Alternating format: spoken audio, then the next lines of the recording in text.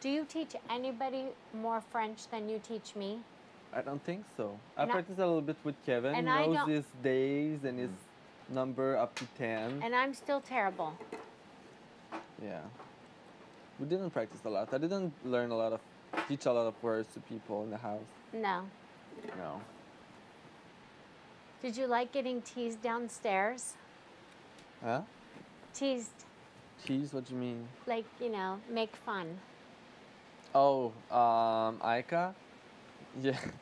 Well, at the beginning, yeah, but at one, po- at one, at one point I was like, okay, that's enough, Ika. Okay, Yeah. Mm, it's true. she was too much. I was like, Ika. It goes over Uh. the top. I'm sorry, I didn't really defend you. No, I know. I was like, come on. Over the top. Yeah. Yeah. I could tell you were getting uncomfortable. Yeah,